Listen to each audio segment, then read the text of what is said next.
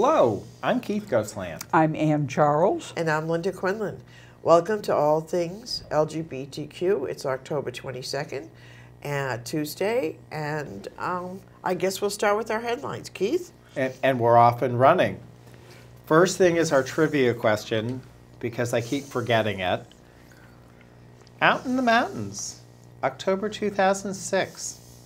Article about a Vermont Supreme Court ruling in the Miller Jenkins lawsuit. Why would we care about that? And then, looking very quickly, the Vermont Coalition for Ethnic and Social Equity in Schools. The coalition has appointed, and the press release will be going act, out actually today, of the 11 community members who have been appointed to serve on this task force, three of whom may have identified as being part of the LGBTQ plus spectrum. You can find out who by going on the coalition's website and reading the bios. There is a, two positions specifically for youth. There is a, a position, new lips, for the indigenous communities, mm-hmm. LGBTQ, people with disabilities, all of the people who should be at the table have been invited to be at the table. Good. Very so, good. Very brief comment. Current discussion happening within the LGBTQ news network. We need to be very conscious right now that as the impeachment inquiry moves forward, that 45 will target the LGBTQ plus community mm-hmm. for greater restrictions and pullback of positive policies because it's the one way he can secure himself with his base. Mm-hmm. That was part of his campaign promise. Today, this month is LGBTQ History Month. I'm going to talk a little bit about some of the things that have been pointed out that we got wrong. That's interesting. Yeah. yeah. And then I'm going to talk about Vermont specific events, including a very exciting poetry reading that might be happening at the Kellogg Hubbard Library.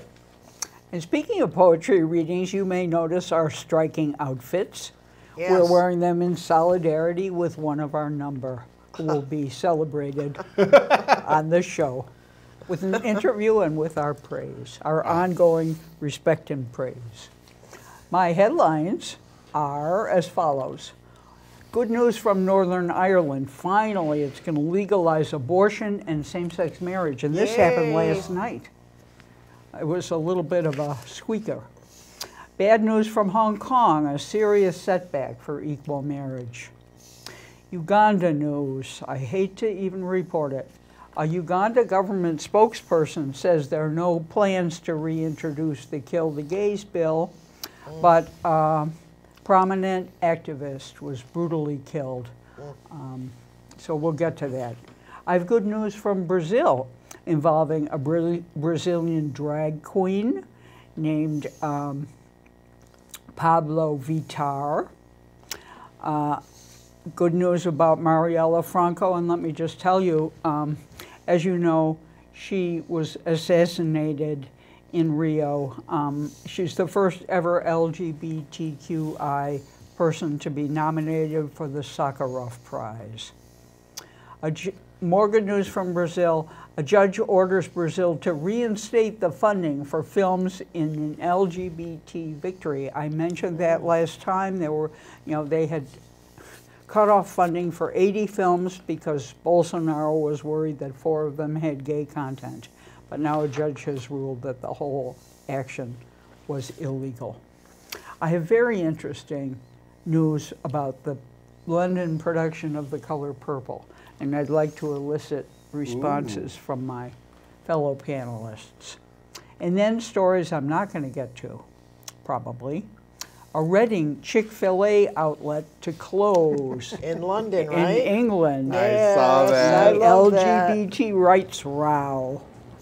Coca-Cola has been fined for pro-LGBTQ ads in Hungary, and I have a uh-huh. picture now of the ads. They're appealing the decision.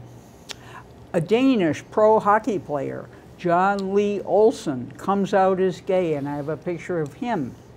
He's very happy to have done it. His team is supportive. Um, an American anti LGBTQIA preacher condemns New Zealanders after he was denied entry to New Zealand. His name is Stephen Ambrose I of the Faithful country. World Baptist Church. Was Yeah. he trying to bring Chick fil A takeout? No, he was going to cause a little trouble in New Zealand, but he was excluded from entry to the country. Good. Uh, unfortunately, the World Congress of Families is prepping for an African conference Yeah. with supporters of anti-gay laws. And when I mentioned the story about Ghana last time and the special education program they're initiating, Linda said, with great foresight, now the the anti-gay preachers from the U.S. are going to go over there, and lo and behold, Brian Brown, uh, who is head of World Conference of the Family and the International Organization of the Family, is headed to this conference in Accra, Wow. where he's going to cause as much trouble as Evil he walks can. among us. Okay, what you need to prophesize is he goes over there and he doesn't come back. or at least you know Stays. eggs have eggs thrown at him. Oh, But- yeah, like potatoes, like the. the So those are my mind. headlines. I didn't mean to interrupt you. Okay. Well, there's a little bit of a row at uh, A Baylor row? University. Yeah. A row? Yeah, row. Where? at Baylor University, Oh. which we'll get to. And Miley Cyrus says she thought she had to be gay because men are evil. I know. Is Miley Cyrus gay? She said she was at one point, but She is she defined- felt she had to because she thought men were evil.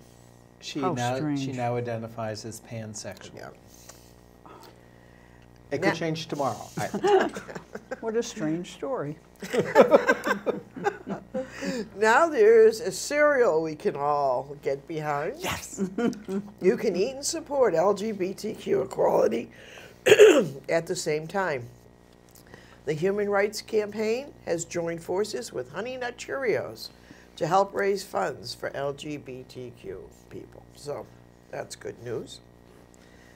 Um, I happen to like Honey Nut Cheerios. And that cereal is distinctive looking, isn't it it? is. It is. It's got like, I don't know, A like a gay honey nut. I see. Billy Porter, excuse me, I've got these allergies.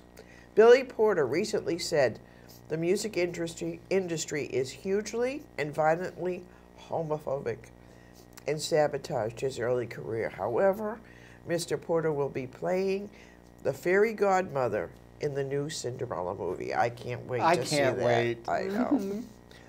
A little story about Ronan Farrow. Um, uh, Ben Shapiro, William Barr, Shep Smith. oh my goodness. I know. Savannah, Georgia is having its Pride Parade and celebrations on October 24th through the 29th. Susan Collins, which you probably know about in Maine, is presently polling at 33%. We love that. I hope it's going down, down. A country commissioner in Tennessee was caught on video ranting about how the U.S. has a queer running for president. It's time to wake up. It's time. It's past time, said Sevier County Commissioner Warren Hurst, Republican, at a meeting yesterday about an ordinance to make the county a gun sanctuary.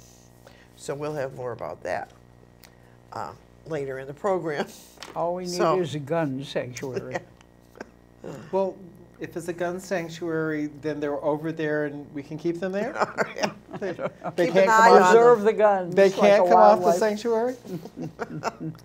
okay, looking at events coming up that you're going to want to participate in, November 4th, Kellogg Hubbard Library at 7 o'clock, someone might be reading selected works from Chelsea Creek, and it might be our own Linda Quinlan. On Sunday, if you're watching this Saturday night, set your alarm clock, get up early tomorrow morning. Sunday at 1 o'clock in the afternoon No good. at Perky Planet, which Perky is Planet? which is on St. Paul Street in Burlington. Oh, Women's Coffee Social. wow. They're looking at, and it's sponsored by the Pride Center. They're looking at trying to make it at least a monthly event. Hmm. That same afternoon, don't even have to come home. Is it going to be like once a month, you think? Yes, well, no, that's what that's what they're use it? trying Okay, to. once a month. Okay. There is a community potluck that afternoon, five o'clock at the Pride Center. Uh-huh. Oh my gosh. Yep, make your best casserole. and then on Monday night is Women's Game Night. What date? This is Monday the 28th. Okay. So, no, this is all in succession. It's like the day after we Tuesday, aired, yeah. and there we go. So it looks as though the Pride Center is starting to reach out. Let's see how sustained their action is. Reach out to women? Yes. Good. Now, if they could. I wish I could do this Sunday, but we already have tickets to the theater, don't we? Saturday. Oh, Saturday. Never Well, I was going to say now if they could only make it past Burlington. Yeah. Um, yeah. True. Oops. Oops. On Wednesday, October 30th, is the LGBTQ plus Town Hall Forum being sponsored by the Alliance and Rainbow Umbrella, 6 o'clock at the Montpelier Senior Center. This is an opportunity for, for our communities to come together and say, this is what we need. Rather than somebody telling us, this is what we can do for you. Right. This is our opportunity to say, this is truly what would be helpful for us. This is where we are stubbing our toes, or this is what is working well. And specifically, the people who are traditionally left out, are youth and our seniors, yeah. please come. And this is going to be repeated statewide, but Wednesday the 30th is when it's happening here in Montpelier. And the Kellogg Hubbard Library also on Monday the 28th at 6:30 is their LGBTQ plus book and film series. They're going to be discussing the book Picture Us in the Light, which is a young adult novel written by Kelly Loy Gilbert and it's co-sponsored by the Unitarian Church. Okay. And I was hoping you had read a review of it so you could comment, but the No. face you're me- making is like, what is that? You know, actually, I think I own it, but I haven't read Oh, it. Oh, okay. That's why I was furrowing my brow. Is that- okay. It was celebration. All right, uh, Northern Ireland, good news. Um, it was decided um, at the 11th hour. There was an attempt to block the change, but it collapsed into a farce.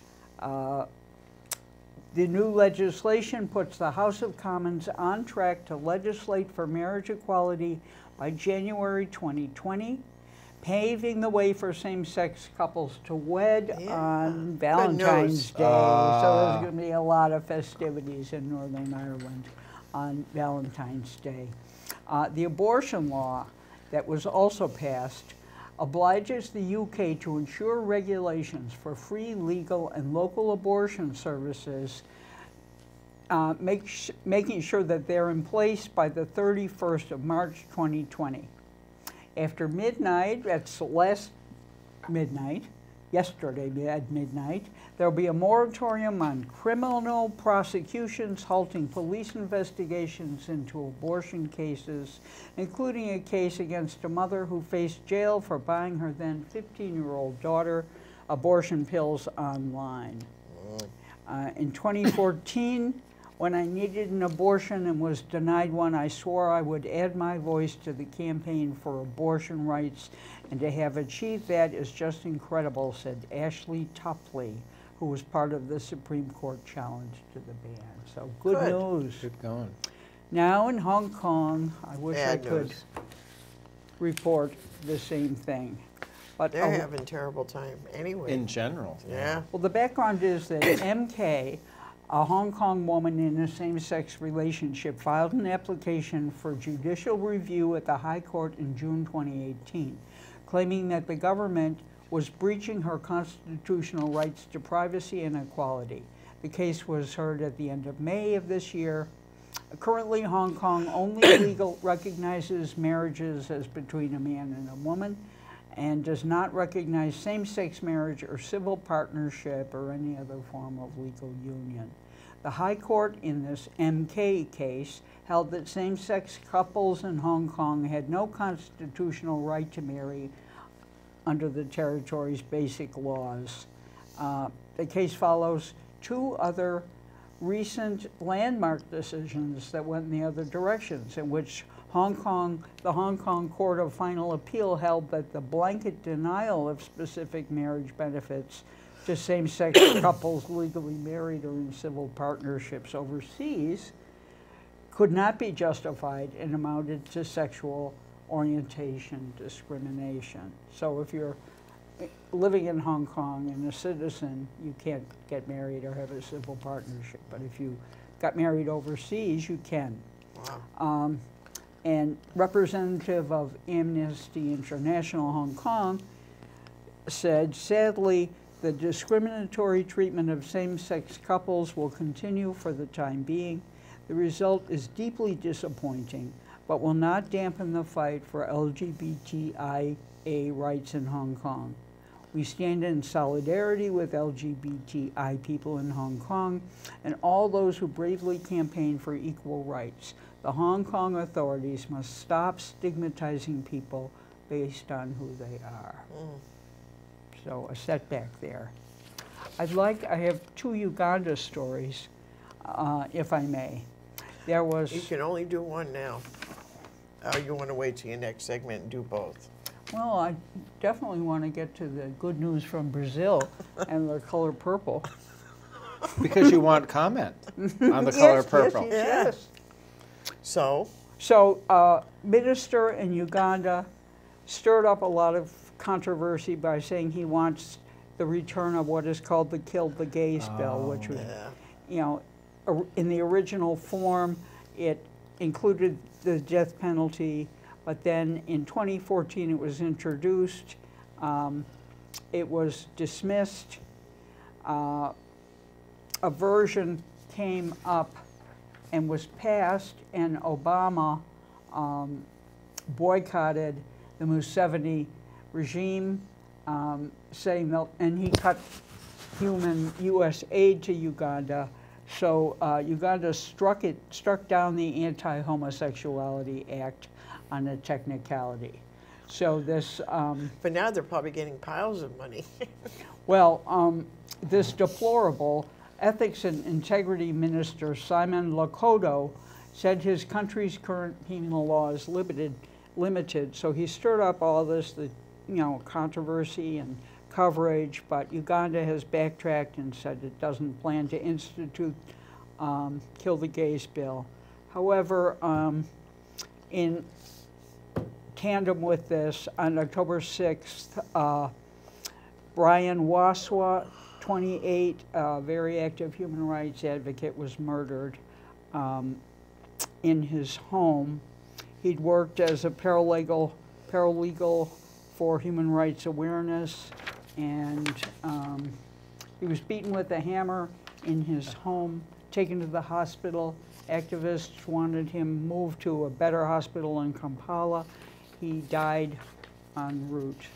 So um, Three other gay and transgender people have been killed in Uganda in recent months amid the climate of increasingly hostile statements by politicians about LGBT rights. On August 1st, a group of motorcycle taxi drivers beat a young transgender woman to death near Kampala. Um, the organization the young man who was recently killed belonged to has also experienced previous violent attacks in February 2018, two security guards were seriously injured during a violent break-in at the organization's Kampala offices, and a security guard there was beaten to death.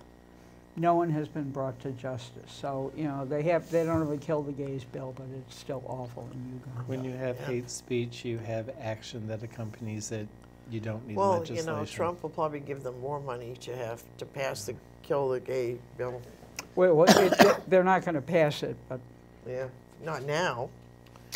But um, anyway, So tell me some fun stuff. well, there is well, Rowan, Rowan Ronan Farrow Mm-hmm. proposed to John Lett- Lovett in a draft of his new book. It was so kind of romantic. Um, his new book is called Catch and Kill, and he said that he he put they used to pass notes because he uh, Lovett was helping him with editing, and um, so they had notes often in the uh, manuscript, and so he put a proposal in the manuscript, and uh, John said yes, and um, so they'll be getting married. All right. Isn't that Very good? That's good news. And he's kind of directly out of the closet now. Yes, See, you and know, he was Lovett. hinting around about it. Yeah. They met, I guess, in 2011 when Lovett, Lovett wrapped up his time as a speechwriter for Barack Obama. Mm.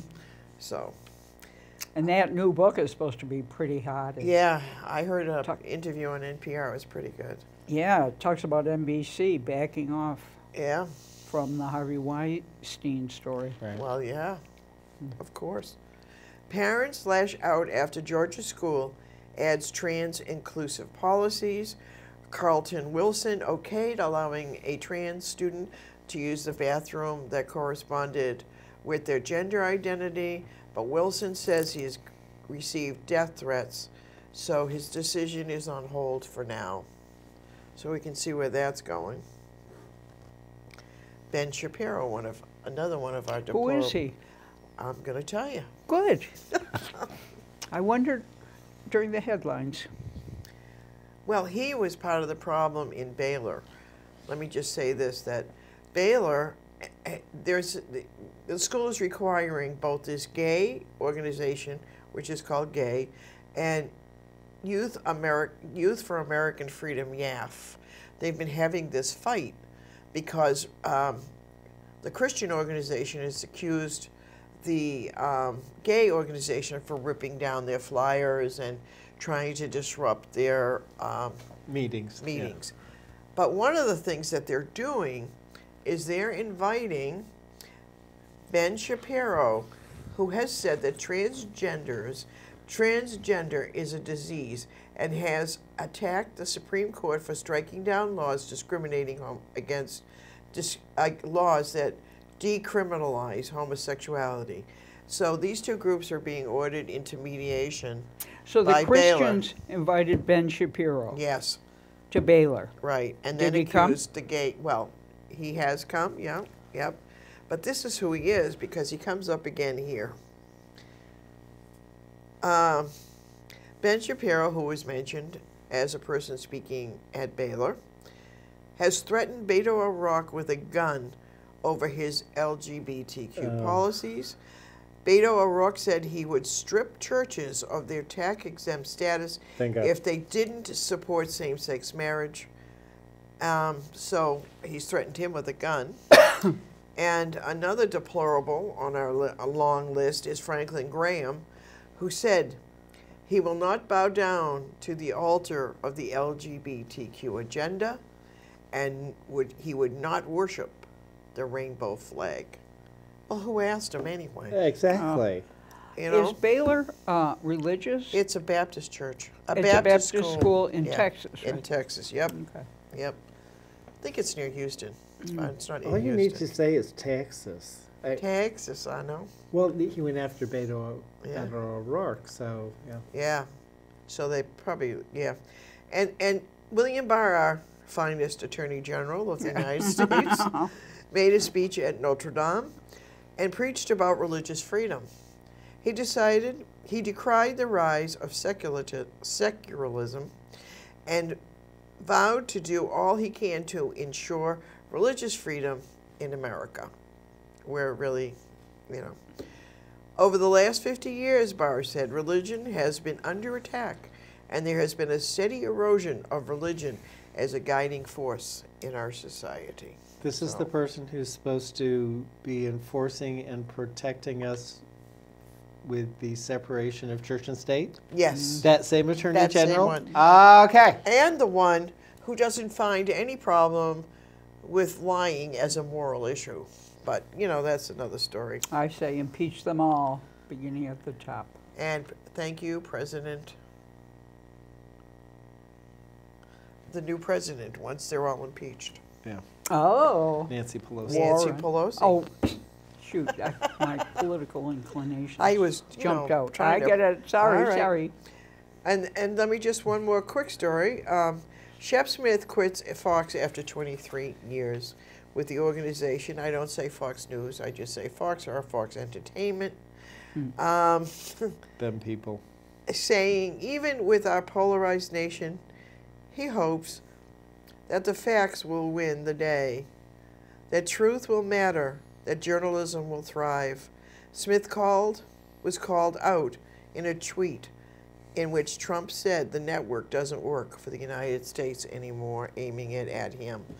So I think him. I didn't realize he was gay, Shep Smith. Yeah, Oh, yeah. Now I know. yeah, and you know apparently he was out to get him. So Who was out to get, Trump was out to get. Was out to get him, yeah, and so, Because he was critical of Yeah, the 'cause he was critical. decisions they had made. and if he's hoping that Fox Entertainment will actually do real journalism, um, you know, it's a good thing he retired when he did. So, Entertainment, yeah. yeah. so So LGBTQ History Month. Things we didn't get right. Starting with faggot. Did not derive from the match to burn the bundle of sticks to burn gays because they didn't burn gays. Gays were hung. That was the punishment. Faggot shows up in a vocabulary of criminal slang. huh, So it was something that was within some, that segment of the culture anyway, had nothing to do with anything else. huh, And as we've as we have had as a trivia question on this show before, Harvey Milk was not the first openly gay elected to public office.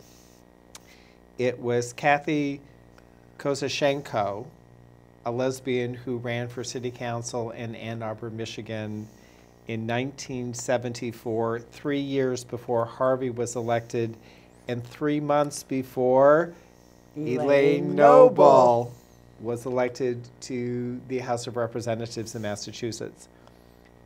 The Black Cat Riot in Los Angeles was that the donut shop? No, never happened. okay, It was a police raid. What happened is one of the officers was assault, assaulted while trying to take people into custody. And it was one of those scenarios where law enforcement went in plain clothes, just part of the bar scene. With the signal, they just started arresting people. Well, the bartender hit one of the police officers. He ended up going to the hospital, and we had a riot. Not didn't happen. Not. Okay, And the first organized gay rights protest, and Anne got this one, was five years before Stonewall. It was in New York, 1964, and it was a response to, within that year, approximately 2,500 service members were given a less than honorable discharge because they be part of the LGBTQ community. Wasn't a big demonstration, but the people who were in, in attendance were the Daughters of Bilitis.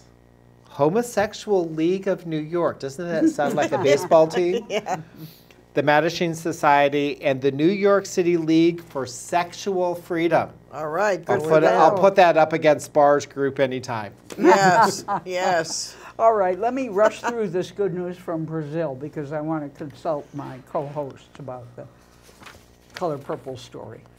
Um, first of all, a Brazilian drag queen makes Time Magazine's Next Generation Leader list.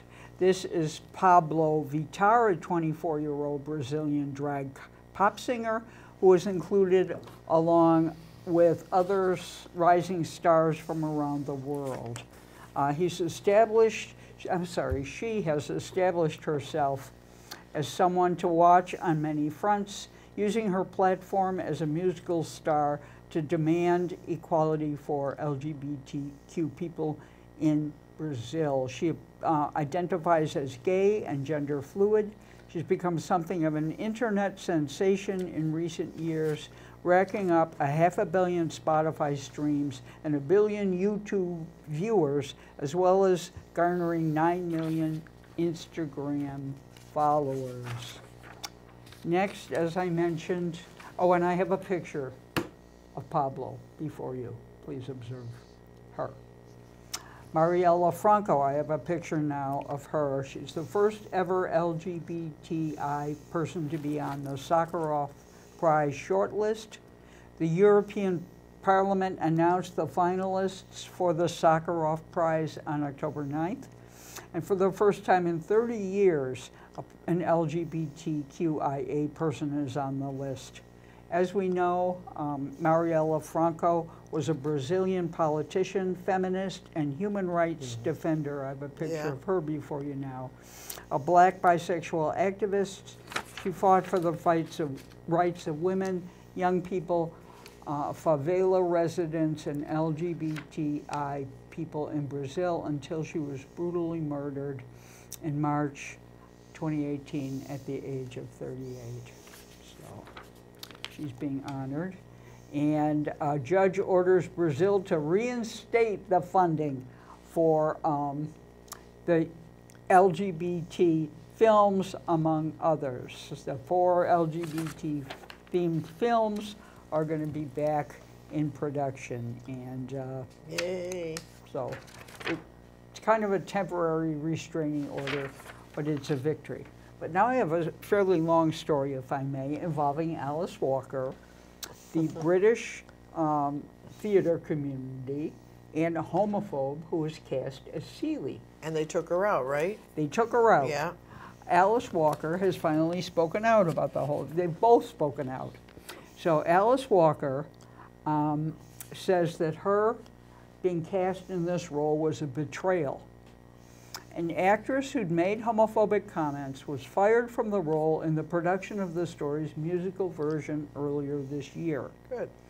Alice Walker says it would uh, be a betrayal um, because um, Oluseyi Omooba, who is set to portray Celie in the production of the musical that ran earlier this year, The Leicester Curve, and then the Burlingham Birmingham Hippodrome in England was fired after actor Aaron Lee Lambert shared a 2014 Facebook post in which Omooba called homosexuality a sin, saying it's illegal but not right. So Lambert didn't know her. It's legal but not right. Did I? What did I say? Illegal. Illegal. Oh, pardon me. Thank you. Please always correct me, because I get so caught up in the story I misspeak occasionally. Lambert said a At least you can say practice. she said, Aaron Lambert said Omooba would be a hypocrite if she played Celie, who finds love with a woman right. after having been abused by men while holding homophobic views. Last month, Omooba said she plans to sue Leicester Curve over her firing and the Global Artists Agency for dropping her as a client. She, as you probably know, is the daughter of a prominent British anti-LGBTQ activist. Omooba contends that she has suffered discrimination because of her Christian beliefs. Walker stayed silent on the matter until this week, and I now I don't think that'll fly in England, not like it will here. In Uganda, maybe. Yeah. Um, let me show you a picture of Alice Walker right now. Yeah. Um, she sent a letter to the Color Purple, she stayed silent, and then she sent a letter to the Color Purple producer, Scott Sanders, and authorized him to share the letter on Facebook. In it, she expressed heartfelt compassion for Omooba. Then she explained how she came to create Celie, and I found this very interesting. Celie, and this is, I'm quoting from the letter, is based on the life of my grandmother Rachel, a kind and loving woman brutally abused by my grandfather. It's safe to say after a frightful life serving and obeying abusive men who raped in the place of making love, my grandmother, like Celie, was not attracted to men, Walker wrote. She was in fact very drawn to my grandfather's lover, a beautiful woman who was kind to her, the only grown person who ever seemed to notice how remarkable and creative she was. In giving Celie the love of this woman, In every way love can be expressed, I was clear in my intention to demonstrate that she too, like all of us, deserved to be seen, appreciated, and deeply loved by someone who saw her as whole and worthy. Walker, who has had relationships with both men and women, said she believes sexual love can be extraordinarily holy, whoever might be engaging in it, and that she urges readers to question the scriptures of all religions. I'll go along with that. Love, however it may be expressed, is to be honored and welcomed into this light of our common survival as a consciously human race. Playing the role of Celie while not believing in her right to be loved or to express her love in any way she chooses would be a betrayal of women's right to be free, she concluded. Yeah. Mm -hmm. As an elder, I urge all of us to think carefully about what I am saying, even as you, Oluwasi Omooba, Sue the theater company for voiding your contract. This is just an episode in your life. Your life, your work, and your growth will continue in the real world. A world we must make safe for women and children, female and male, and the greatest freedom of all is freedom to be your authentic self. Good for her. So yeah. you both agree? Yeah. Absolutely. Absolutely. I mean, I, I don't see it not a First Amendment right? No, or- I mean, because the basis was a homophobic statement, it wasn't that you are Christian. So it, It's that you're playing a part of someone who Mm-hmm. finds love with another woman, and if you're homophobic, how can you? okay, d- you're saying is it a violation of First Amendment, is it as in freedom of speech? Right, You know, I have the right to profess my belief and hold to it and express it. This is one of those situations where the individual, The portrayal of the character is such that you, as the person portraying it, becomes part of the equation. It is not a separate and distinct, I have this set of beliefs, but I should be Yeah. able to portray anyone I want. I- And I agree with Alice Walker that this is a real betrayal of the intent of her novel. what is being And this is. British, right? Mhm. Well, I don't know don't what the British fir- courts have for like, Freedom of speech, freedom Yeah, of and- And expression. an argument also could be made that um, Steven Spielberg really repressed the homosexual content. yes, he And- did. And c- movie. yeah, that's true. you Yeah, know. yeah. Um, so you don't think No, I think it's, the I don't um, think so. the actress asked to was asked to retract it when she was fired and uh, refused. Yeah. So how do we think the communities, Christian communities of faith would respond if I were to portray Christ? I know. Then sit back and watch the argument. Now there's an idea There you I could get behind. Okay. Okay, just briefly, I wanted to um, to just talk about this um, uh, this rant about the family of a queer teen in Tennessee who died this past week after being outed at school, con- uh, concerned because the district attorney in charge of this case has made anti-gay comments Right. about how he does not treat LGBTQ victims the same as straight victims of violence. Late last month, Channing Smith, 16, was outed on Snapchat. A classmate shared graphic text between Smith and another boy with other students at the school. According to his brother, Smith was freaking out when he saw the message. On Instagram that evening, he wrote, I'm gonna get off social media for a while.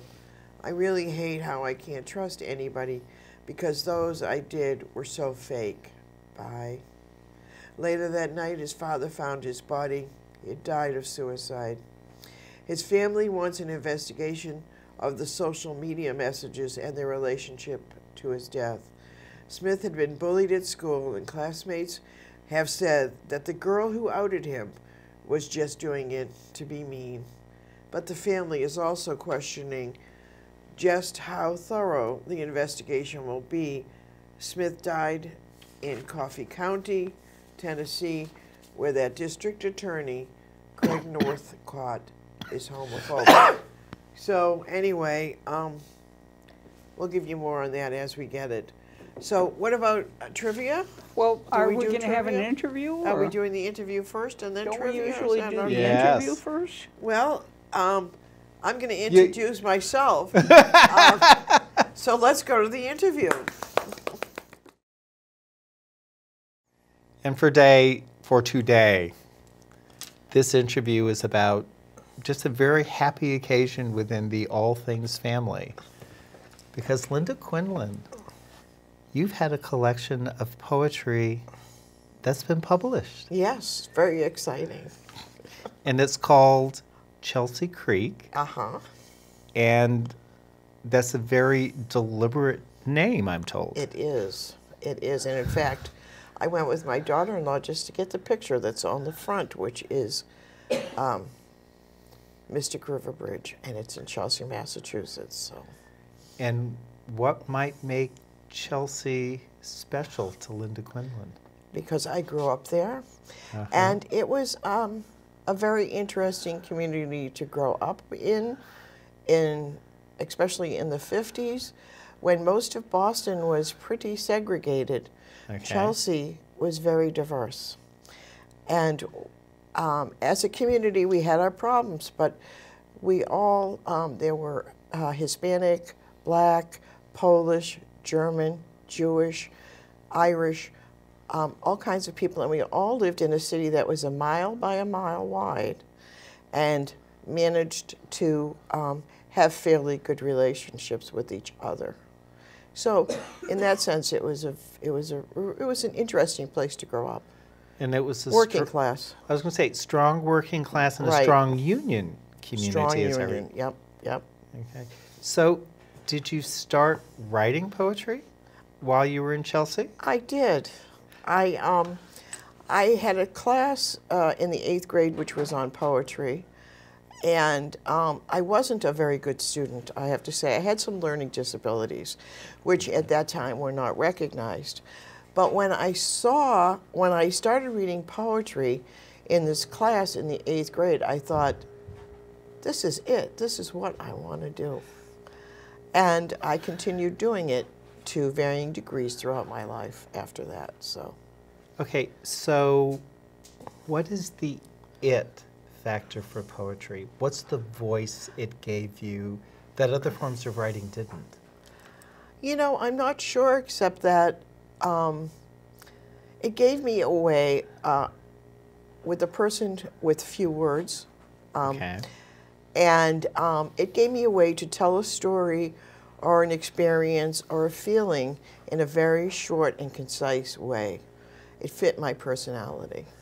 And that's a wonderful lead into asking you if you would read one of the poems from your collection. Okay. And, and there's one in particular that seems to reflect those early years in, in Chelsea. Chelsea, yes. So I'm going to read um, Okay. Popping Frogs in the 50s. And this will kind of give you an idea what it was like to grow up for probably a lot of people, but uh, particularly for me in Chelsea. So, um, Popping Frogs in the 50s. Beside the soldier's home, the, knot, the knotted rope swing pulled between our legs as our bodies swung and our toes touched the leaves below. This was before the boys opened us like the names they carved on bark. They gathered frogs from the pond and threw them under cars just to hear them pop. Us girls held each other's hands and tightened our roller skates with keys.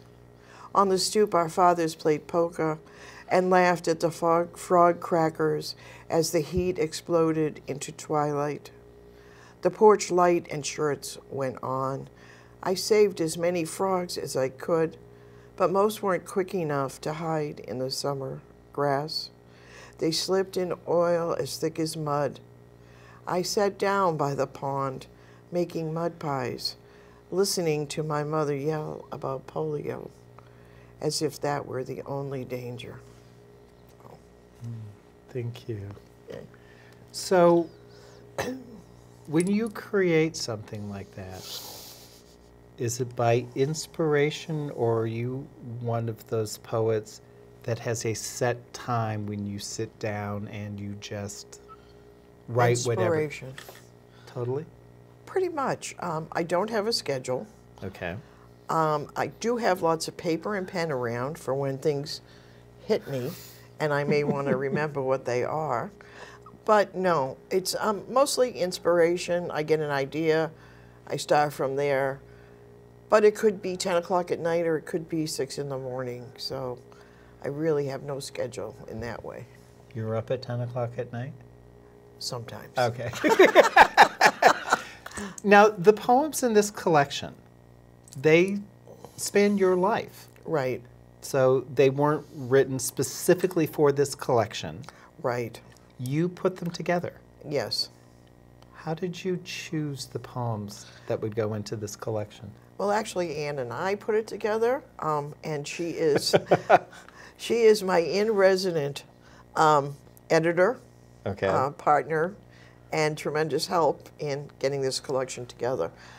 But I did it um, kind of. Um, I t- a lot of it is about Chelsea and my childhood.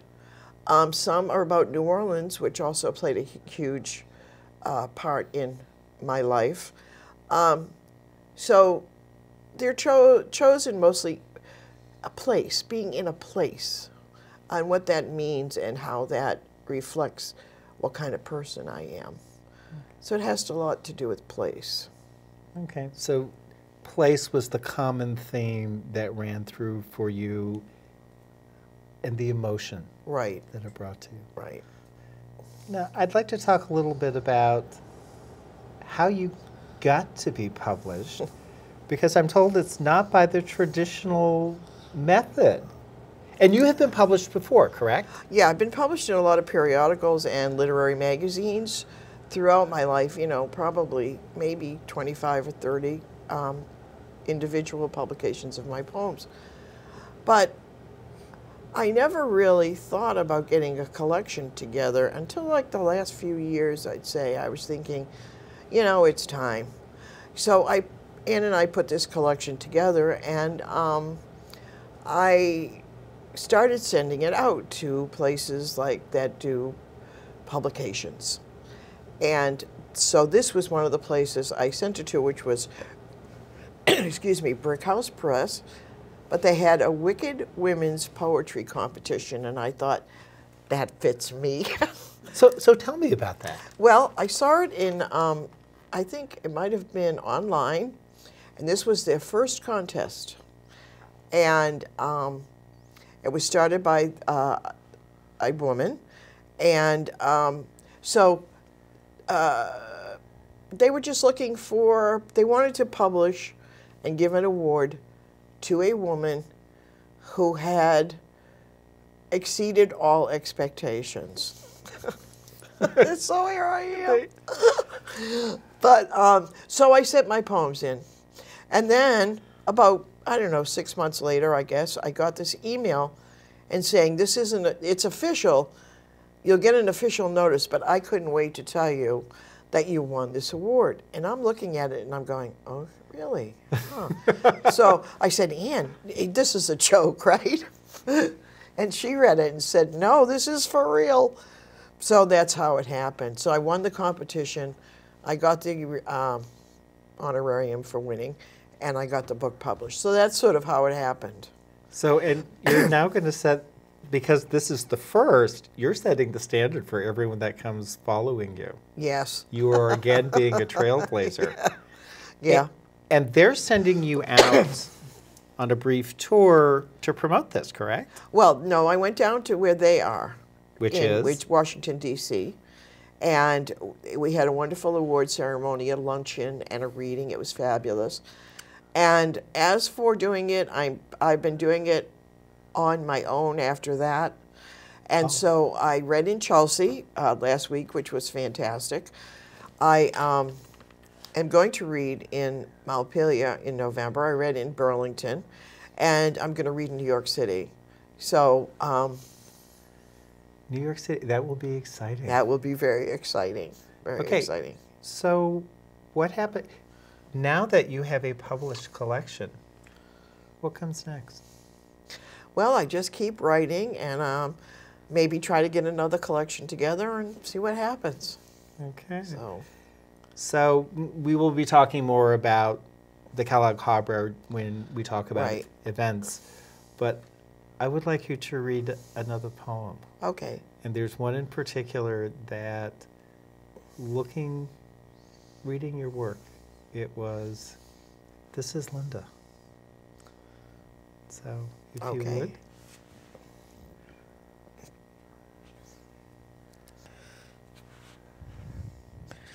And the poem is called Almost Old. And the joke I usually make about this is that when I wrote this, I was almost old. Now I'm closer to almost old. so um, here it is. The hitch to being, to almost being old, is the idea of Florida. Strip malls and strippers, a restaurant or two next to Walmart, or the villages where Mitt Romney spoke of better days. 25 years ago, I took a train to New Orleans and stayed there for 14 years. Living a dystopian life, held up at gunpoint twice, the smell of jasmine stayed with me even when the police came three days later. Anne Rice in a coffin for Halloween, and vampires in the humid mist. I can't just go anywhere anymore. Fifty years ago, I moved to Aspen with four friends in a Jeep. The heated winter pool, lights, and skiers. My first girl love. I left for San Francisco before AIDS, touching the hands of long haired strangers. I could have found Charlie Manson in Peace Park among the girls I laughed with. Now, Montpelier, Vermont, the smell of winter air and moaning mornings. I think of Florida, take a nap, reliving times with old friends, and saying final goodbyes, words I might have forgotten. Thank you. What did, being the trailblazer you are now, what advice do you have for lesbian poets coming up behind you? Read a lot of poetry. Um, find some good mentors. I had some fabulous ones. Okay. Um, and um, just keep doing it.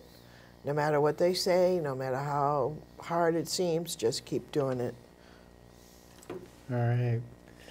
So, Linda's reading is going to be Monday, November 4th, 7 p.m. at the Kellogg Hubbard Library here in Montpelier. And I want to leave with this.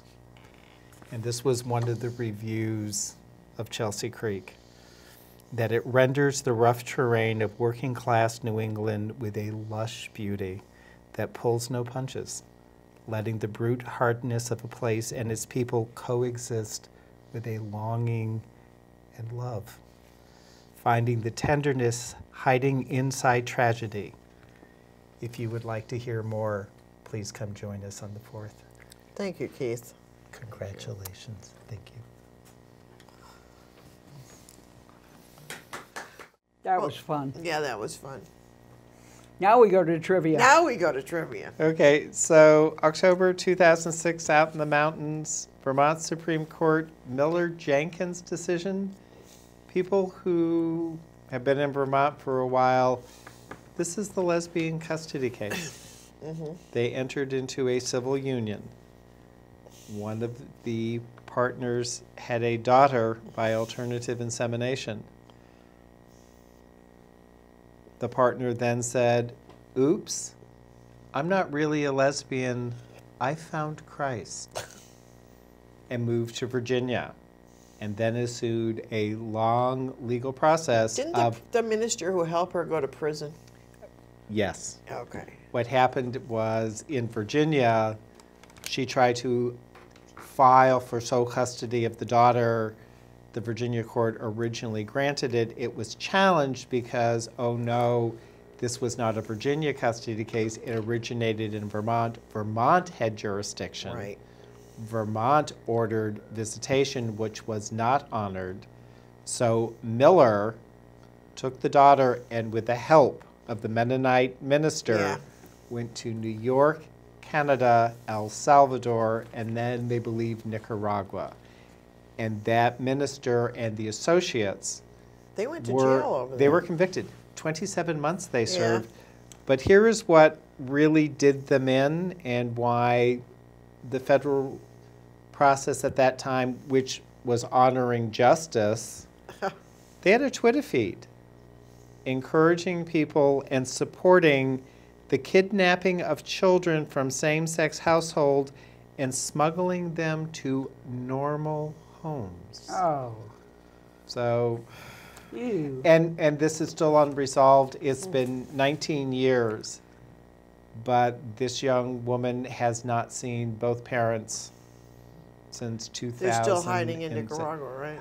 They or believe, wherever they, they, are. they believe Nicaragua. yeah. So, with that, Well, that I think, more than ever and always, we need to resist. Resist.